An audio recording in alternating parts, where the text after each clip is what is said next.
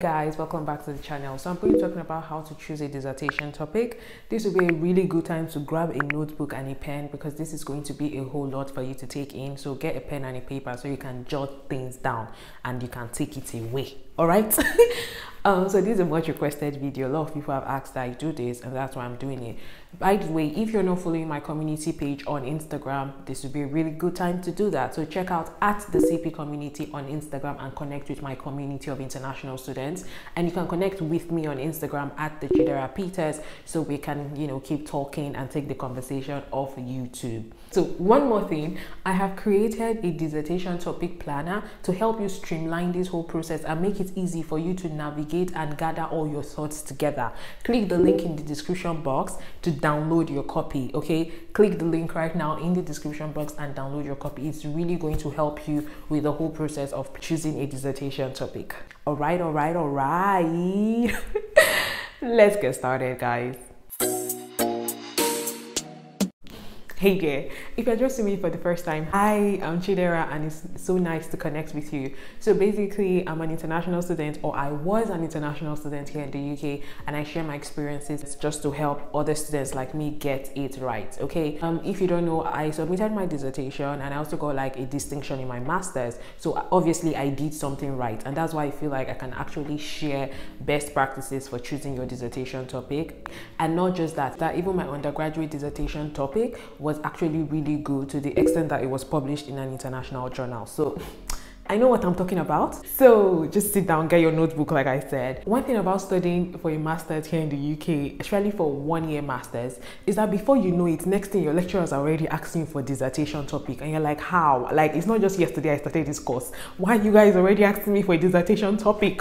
It's just barely two months into this course. Why are you people stressing me? But that's how it is because you just have a year. Everything needs to start as soon as possible, okay? So don't, don't feel like you're the only one. Basically, almost every international student in the UK doing a one year master's feels the same pressure at some point, like not being ready, and then you know your lecturer already demanding that you send topics or that you start working on your dissertation proposal. Hopefully, the things I'll share on this video would also help you kickstart your dissertation proposal. The very first thing when it comes to choosing a dissertation topic is to understand research process and terminologies. Okay, so do you understand how the research process works for your department? Do you understand how like a, a, a research is broken broken down. Do you understand you have to think about methods for data collection? Do you understand you might have to run analysis? What um, statistical packages do they use in your department? What statistics what statistical packages would you have to run analysis on your data so you need to really understand the research process research terminology research terminologies like literature review and all of that. So you need to you know have that at the back of your mind understand how the research process works. That's just preamble. So the very first thing when it comes to choosing a dissertation topic is to ask yourself what is your interest? See the course you're on right now something intrigued you about that course that made you apply for it. So think about it. Hmm this course you're on what is the thing that interests you about the course? Start thinking about it. And the reason why it's important to focus on something that interests you about your course is that a research is something you're going to be devoting hours and hours of your time. So if it's something you're not interested in, trust me, you will struggle to write it. So you need to ensure that you are interested in that topic. For me, for example, I studied crisis and disaster management. When I started thinking about it, I was like, wait, I picked this course for a reason. And the reason I picked it is because I grew up in northern Nigeria, Kaduna State precisely, and have been affected by several crises, insurgency, and insecurity in the region. So I told myself, hmm, I think I'm interested in insecurity aspect of crisis and disaster management, like how to handle insecurity better, how to handle terrorism better, and all of that. So with that, I started, you know, brainstorming and started thinking of it. So you need to start thinking about it. What is that particular thing in your course on your course that interests you, that piques your interest, that makes you excited? Why did you choose to study that course? Think about that, okay? The second thing to consider is to identify your area of interest and look at available literature. Okay, so for example, for me, I knew that what I was now interested in was, you know, terrorism, insecurity. Then I started looking at literatures about it, like finding other articles, other things people have done about terrorism and um, insurgency in northern Nigeria. And I, and I started seeing works like how to manage it better, how to do this, how to do that. You know, I started downloading different documents. I did not read all of them. There were some that I just scanned through to pick, you know, the main points they were trying to pass across. But that was what I did. So see at that time i don't know the specific thing i want to talk about you get so i don't want to pressure you. Like you must not know the specific thing. Just having a, a broad idea would help. I just knew it was something around insurgency something around that. So i started looking for articles. What i did literally i just went on google scholar. I put terrorism i put nigeria and Google Scholar will give you results of articles that are relevant to those keywords. So every article that came up under Google Scholar had something to do with terrorism and Nigeria. So all I was doing, I was just you know looking at the ones I could see the topic were interesting, and by so doing, I was realizing, mm, mm, mm, mm, you know, it's like opening my mind. I'm like, okay, okay, okay, okay, okay. So you might want to do that also. Look at concepts that you find interesting under that your area of interest. Okay. Another important thing to do when choosing a dissertation topic is to review um, dissertation of past students in your department. So for example, in my department, we were given something called the Book of Abstracts, which contains all the abstracts of the students of the previous year. So we're all given this manual and we just went through it and you know, you can look at what students have done before. Hmm, this student did this, it looks interesting. Look at the topic and even by so doing, you can begin to realize certain themes that are common among students in your department, okay? If you don't have access to a book of abstract or something like that, email your lecturers and ask them that is there a way you can access previous um, dissertations from other students? This should be something that should be open access for, to you as a student, okay? Another important way to pick a dissertation topic is to look at your lecturer's research areas. Like what are their areas of interest in terms of research? What publications have they released in journals? What is their area of research? The reason why this is important is that you don't want to pick a research topic that nobody like no lecturer in your department has an interest in or is knowledgeable about. The reason is that if you do this you're going to struggle because you're going to be alone on your whole literature review process. Because it's not their area of interest they really cannot help you. So you might want to look at oh what what are your lecturers doing? What are the articles they have? Look at the articles look at the topics and see who can you align with or, or whose research area you know fits into what you're interested in? And another thing why it's important to talk to your lecturers is that even though they know about a particular research field they can also know of trends that are coming up in your area of interest. So for example when i was looking for my dissertation topic i spoke to a lecturer of mine I, who was always involved in humanitarian response in third world countries. Like she always traveled to like sierra leone cameroon like that. So i started talking to her i'm like okay i'm interested in something that has to do with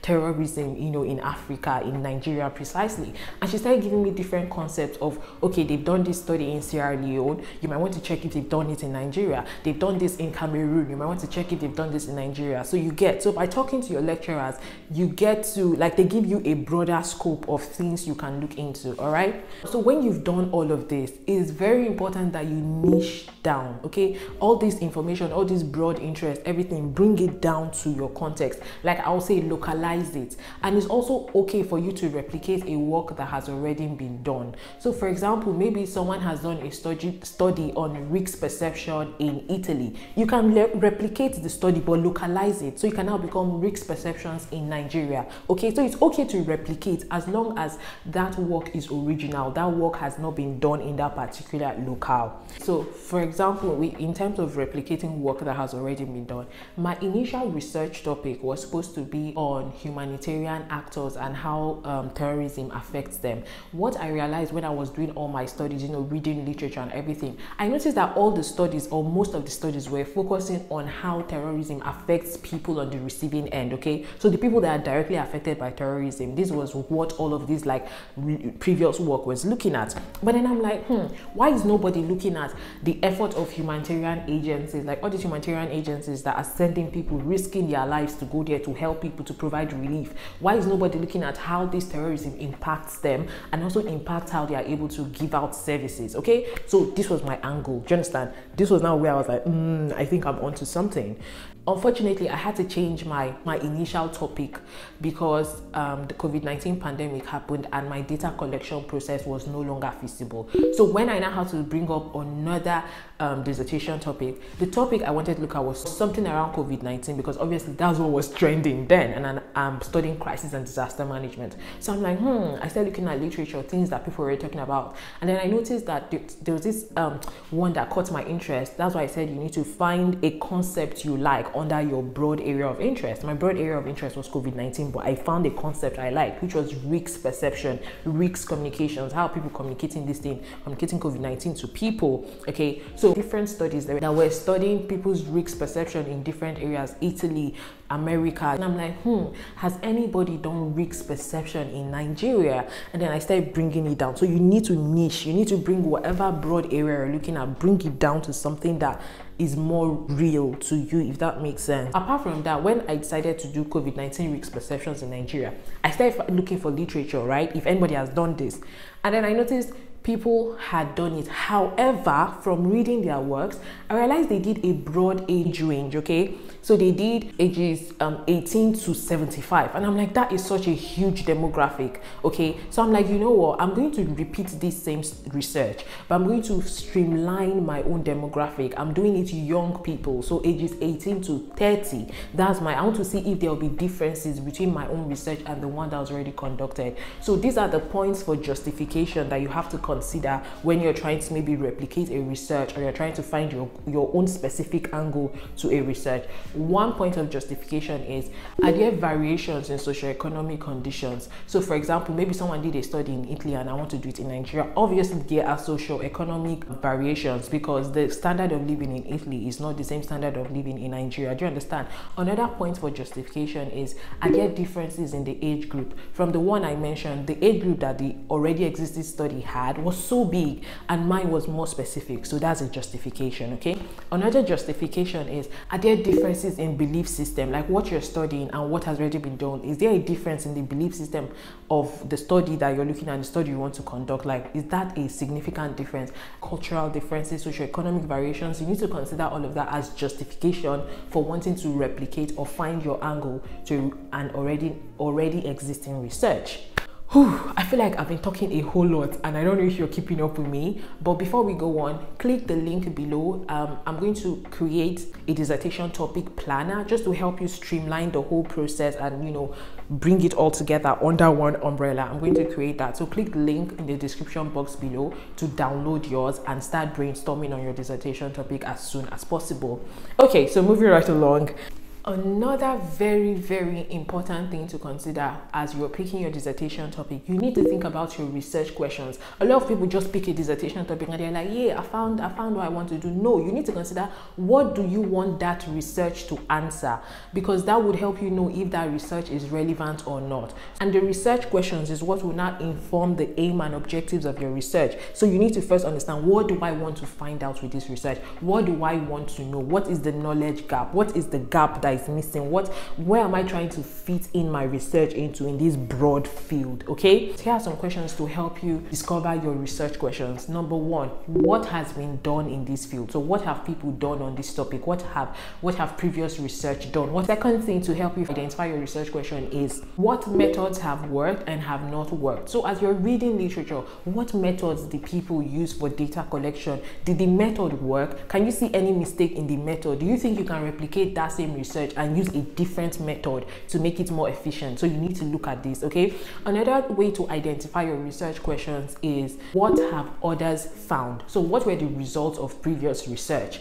Okay, what what what were the results? What did they find out? What what, what was the outcome of that study? This will help inform your research questions. So maybe if this study found out that everybody in Nigeria is scared of COVID-19, then you're like, based on this result, one of my questions, one of my research questions is, are people ages 18 to 30 really scared of COVID 19. This is just a very raw example, but you get it, right? So, another thing to help you um, determine your research question is what is missing from the literature? Okay, so you've read so many things, you're like, hmm, what is missing? What has not been done? What What is that thing? Where is that angle that people have not really looked at? Where is that thing? So, it takes a lot of brainstorming and mind mapping, all right? By the time you've done all of these things, you would have begun to have ideas of topics or what you might want to talk about, even if it's broad. Don't don't stress. One thing I must mention here is that the process of picking a dissertation topic is not straightforward. Don't think that you're going to do everything Chidera has said and you land on your topic. Mbao.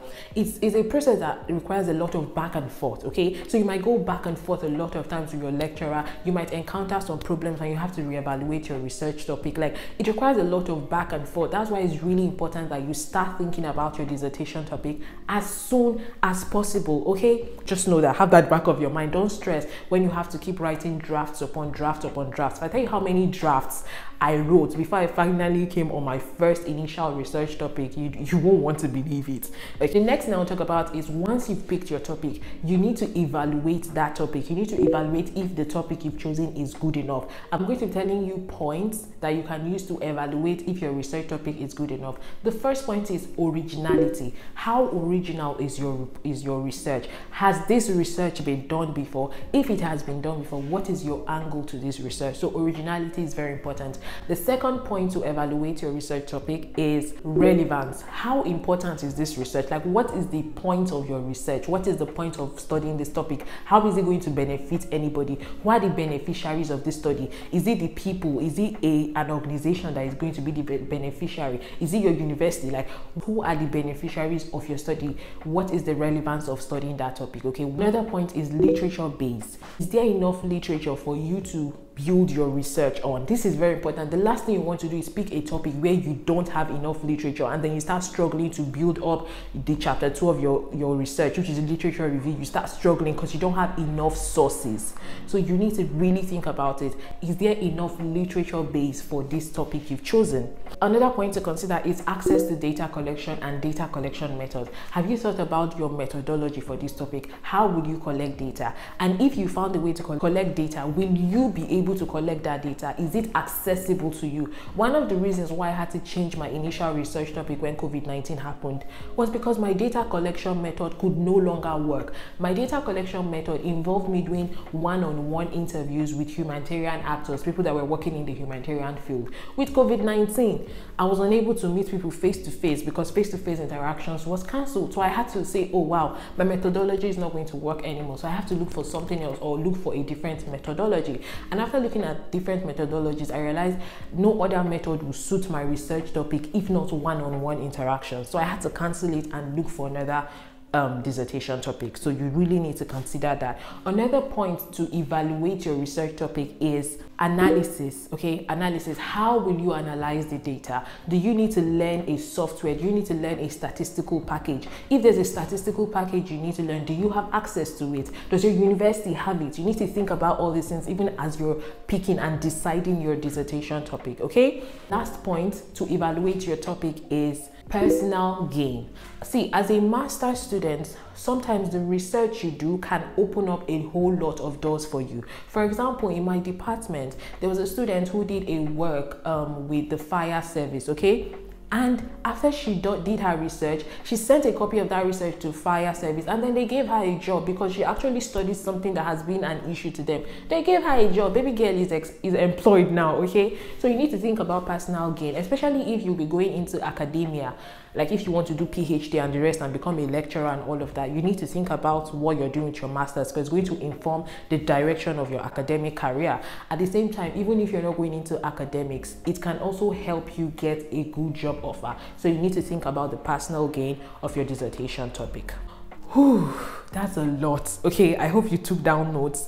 And once again, don't forget to download your dissertation topic planner on the link in the description box. I have carefully created a, a resource that is going to help you you know streamline all of these things under one umbrella okay so click the link in the description box to download yours now all right I hope you found this helpful. Please, if you did, don't forget to give this video a thumbs up. Give it a thumbs up, share it to other students, and drop a comment. And also, if you have suggestions for videos you would like to see, also drop a comment. Because trust me, I read my comments and I'll make the video that you want to see. Till next time, guys. Bye.